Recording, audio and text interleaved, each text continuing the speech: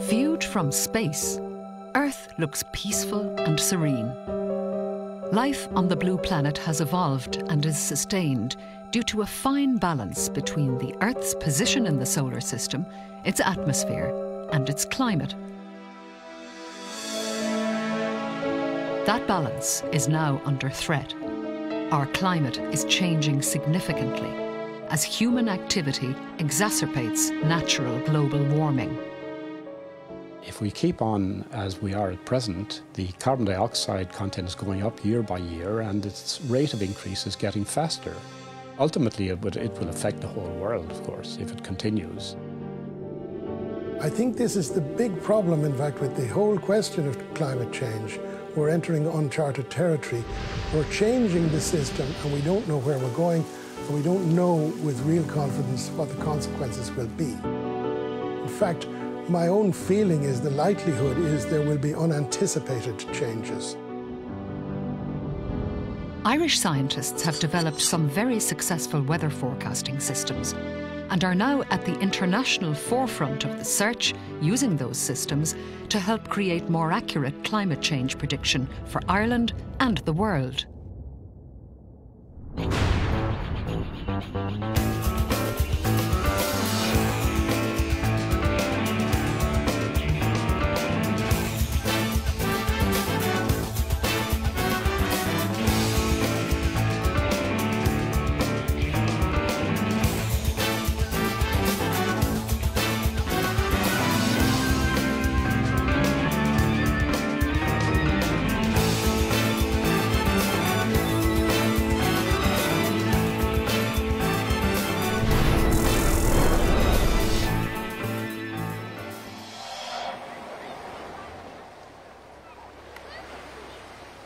Almost every aspect of our lives is affected to some degree by the weather. Ireland has a temperate, maritime climate, which avoids the extremes of either hot or cold. But it's also inherently unpredictable, as we're constantly being subjected to short term weather events, such as storms and flooding, causing mayhem around the country and costing millions of euro worth of damage. Peter Lynch is one of Ireland's foremost meteorologists. The weather and climate affect essentially everything that we do. They're of interest and importance to everybody, and they have huge economic implications. Virtually every industry and transport and health and tourism, so on, all these areas are impacted in a major way.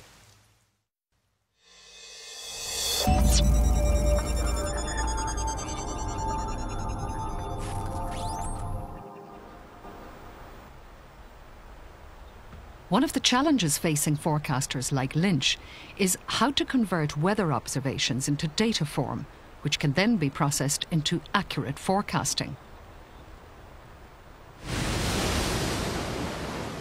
The atmosphere and the ocean are physical systems, so of course they're governed by physical principles, and these are expressed as mathematical equations. We have, for example, Newton's law, which relates acceleration to force. We have Boyle's law, which relates pressure and volume, and so on. We have a complete system of equations which describe the way the atmosphere and ocean move. And when we put these together into a computer program, that's what we call a model. These equations, when processed by a computer model, can give certain predictions. Peter Lynch has developed a sophisticated algorithm called digital filtering which is being used by the European Centre for Medium Range Weather Forecasting in Reading in the UK. The resulting forecasts are recognised as the most accurate in the world. The procedures which uh, Peter has invented and, and, formulated are crucial to uh, weather forecasting. Weather forecasting these days, it's a very sophisticated mathematical enterprise. Progress has been made because people with very strong mathematical backgrounds have been able to make contributions, and Peter is one of those. Accurate weather forecasting relies on not one set, but a whole series of predictions. One technique is known as the ensemble system, and Peter's work has played a key role in improving the clarity of the overall picture that it gives.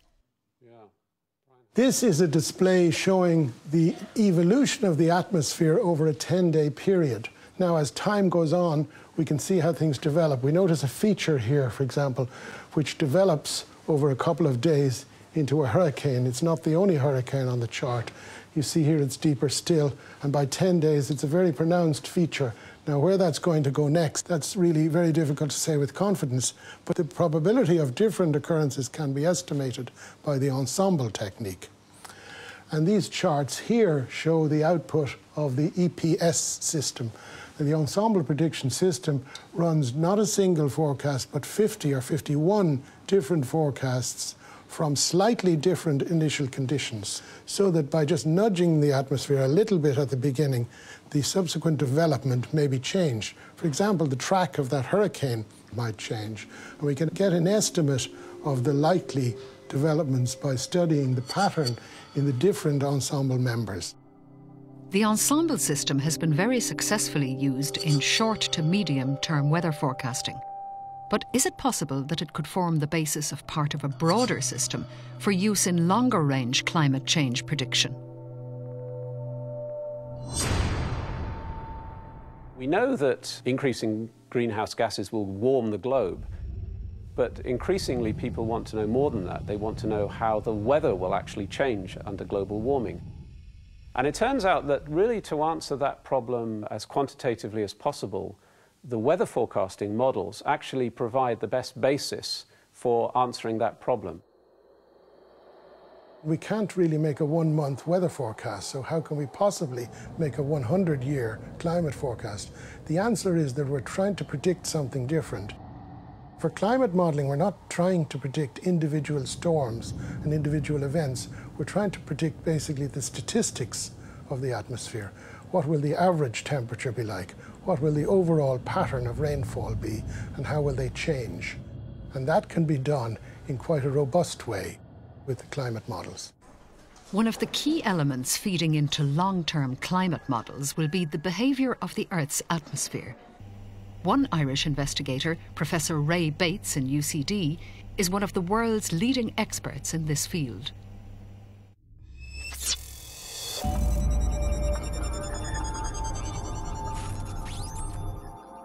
Bates' research looks at the CO2 and all the other physical elements that make up the Earth's atmosphere in an effort to understand the dynamics of our climate or weather system. My research is in the theory of climate. That means trying to simplify things down to their essentials to look at particular questions. What keeps the climate stable at its current observed equilibrium temperature? And why doesn't it vary about that. If it does vary, what brings it back? And if it is pushed away from its equilibrium by some external forcing, such as doubling carbon dioxide, for example, that can be called an external forcing. Uh, how far does it deviate from its uh, initial equilibrium as a result of that forcing? If there were no atmosphere, our planet would be emitting temperatures at around minus 18 Celsius, which is clearly too cold to sustain most life forms. However, there are naturally occurring gases in the atmosphere, such as water vapour and carbon dioxide, which trap the heat and raise the ground temperature of the planet to a comfortable average of about 15 degrees. The enhanced greenhouse effect is what results from increasing amounts of carbon dioxide and the other gases that result from human activities, threatening this present delicate balance between the atmosphere and the Earth. Bates devises simple physics calculations to examine the impact of external factors, such as the enhanced greenhouse effect, on the atmosphere and on our climate as a whole. These equations are the building blocks for all models used for weather prediction and for climate simulation. In the case of weather prediction, the integration is for relatively short periods of time, for some days ahead, a little more than a week ahead. For climate simulation, these equations are integrated for decades or centuries ahead. Bates is carrying out this work in close collaboration with Peter Lynch. Well, we're trying to build as much knowledge as we can into the models so that they're as precise as possible. Uh, well, that means understanding the processes in the atmosphere. We're studying the processes at a basic level using the information that we get from those theoretical studies. So it's a kind of a synergy between fundamental science and applied science. There is no doubt that climate change is happening. The great unknown remains what the impact will be. Using the large pool of diverse information which Lynch has built up, he's teamed up with Irish weather forecasters Met Éireann, utilising their data to help create a climate model or projection of what Ireland's climate will be in the future. It's known as the C4I project. Well, we began about uh, five years ago. At that time, we felt that uh, because uh, the, the climate is changing, we can see it in the, the observational records that uh, Met Éireann has. We felt it would be a, a, good idea to, to try to look ahead and to see how climate change might uh, impact on Ireland in, in the future. The C4I project, uh, which was uh, initiated back in 2003, basically it was kicked off by Peter.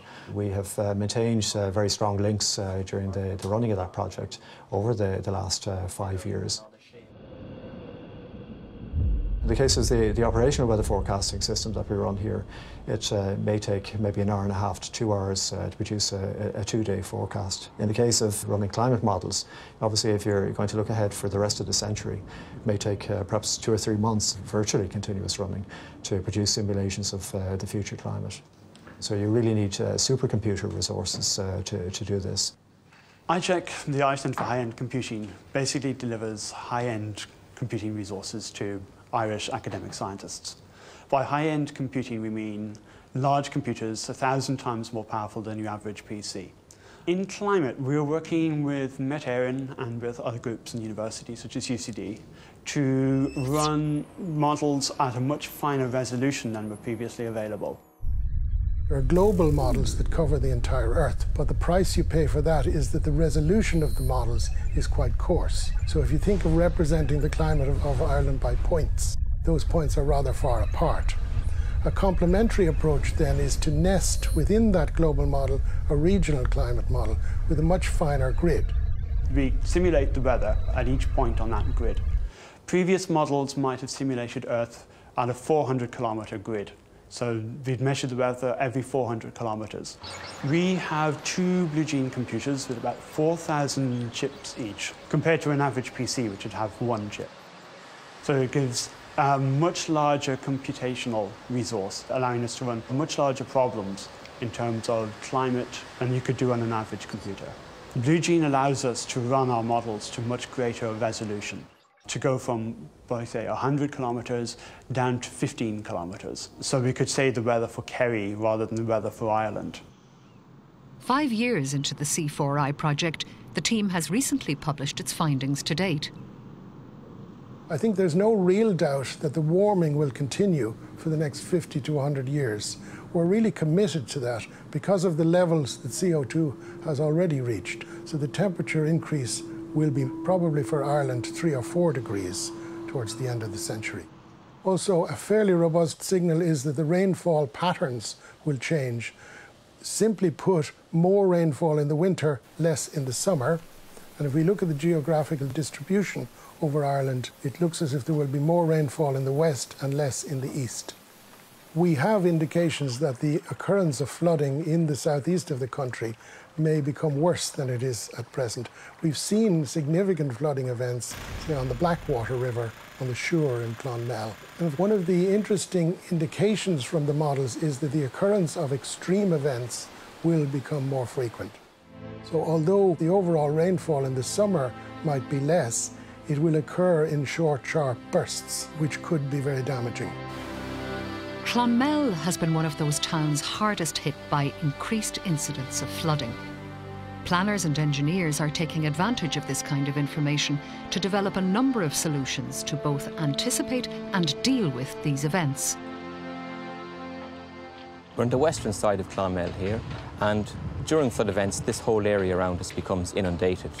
We are currently standing on a, recently constructed embankment. It's approximately four metres high, and when the scheme is complete, it will tie into other defences, just as sheet piled walls and reinforced concrete walls, which will protect the whole area.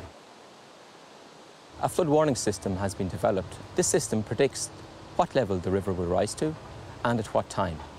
Once a certain threshold is predicted, the system issues a warning to the authorities, who then put in operation the erection of the demountable flood defences. Beside me here, we have the flood defence wall at full, full height level, and here is a low level wall, which still provides the amenity of the river to the public. This low level wall can receive a demountable barrier system to bring the defence up to the required height.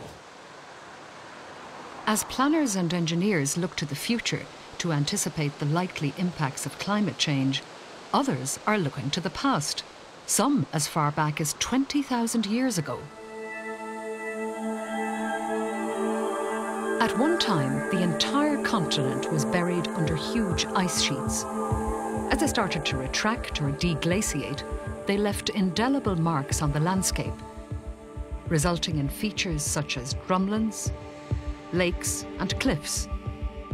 Today, University of Ulster's Paul Dunlop is investigating the patterns left by the departure of the last ice sheet to see what answers it might yield. When you take a look at the Irish landscape, it would have been totally uh, different from what we what we see today. Obviously, there would have been a very large ice sheet uh, sitting on top of most of the landscape anyway. The main things that they understand about ice sheets is that they're very sort of sensitive to climate change, and they also are known to drive uh, climate change as well. And uh, the Irish landscape has a rich geological record of that.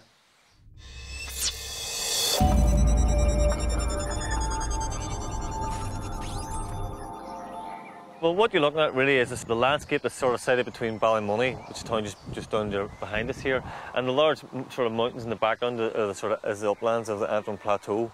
Now, in terms of age, the Antrim Plateau is much uh, older, older formation, and the landscape in between is basically what's known as sort of drumlin topography, which are these sort of small, elongate, streamlined hills you can see with a sort of, they're sort of much deeper uh, on this end, and you can see them tapering down towards the left-hand side there.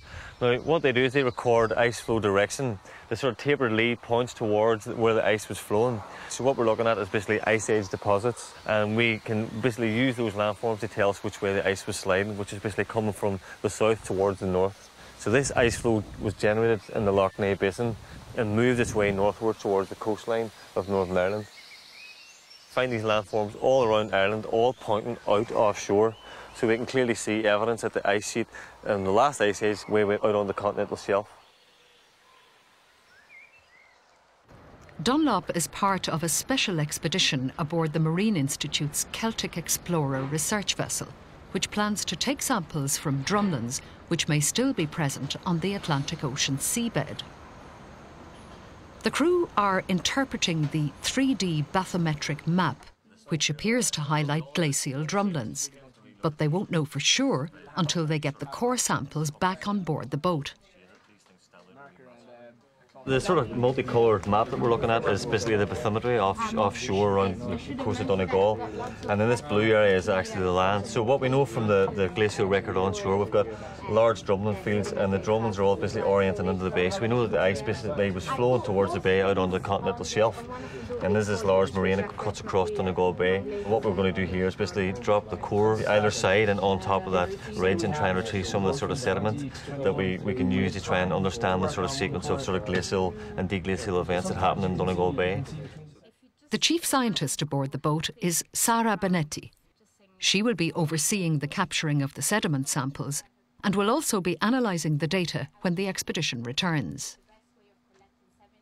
Well, I'm very much looking forward to it, especially because um, there are not that many coasts from this part of the world, um, especially not in the area and in this area, and especially not from the last Irish ice sheet. So I'm very much looking forward to it. If the samples are in fact from an underwater glacial drumlin, this will help the investigators to better understand the dynamics of the ancient ice sheet and help them to predict the behaviour of modern ice sheets. We only have two large ice sheets at the moment. We've got the Greenland ice sheet, we've got the Antarctic ice sheet, and we know that they're going to respond to global warming, they're going to melt. And what we can use, we can use these glacial deposits here to understand how the Irish ice sheet broke up, and we can possibly use that to try and understand how the Antarctic or the Greenland ice sheet may also respond to global warming in the future. We use the word cryosphere to describe the ice, and that is one component and a vital component of the entire Earth system. So the ice interacts with the ocean, the ocean interacts with the atmosphere, the atmosphere interacts with the land, and so it goes. All the subsystems are interacting with each other and influencing each other. So we have to have them all in comprehensive Earth system models. We have to represent the ice as accurately as we can. And of course, to do that, we've got to study it as extensively as we can. It's sort of providing really sort of uh, critical information on the operation of the last ice sheet here, and also basically uh, it fits into a very larger climate story that the, large sort of global body of scientists are trying to understand. And this sort of this sort of data set that we can get from this trip is very unique in that, that regard. It's going to provide brand new data to the western margins of the British Irish ice sheets. It's going to be really really good data.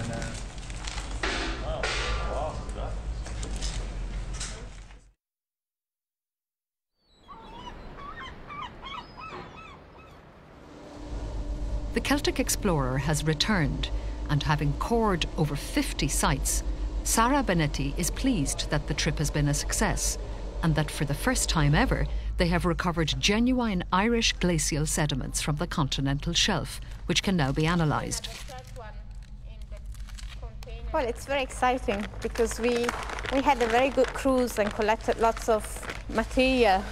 And from what we saw from the course we opened on board is that we really targeted the right spots and we know we have recovered glacial sediments.